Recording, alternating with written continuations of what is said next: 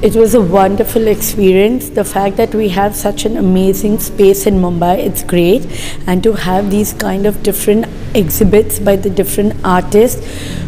and each of them coming up with a unique style it was an amazing experience and for the kids to experience this kind of an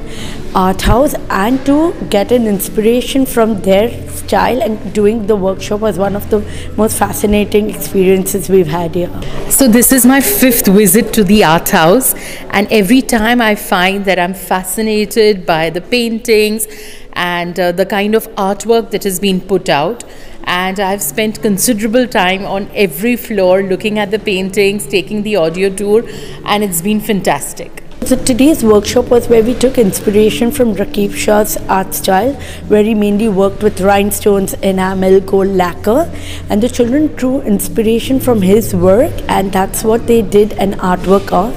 We are in fact doing a series of workshops for children uh, where they will be exposed to the different artistic styles of various artists and we're going to be taking inspiration from their life, from their work and recreating a masterpiece that the child can take back home.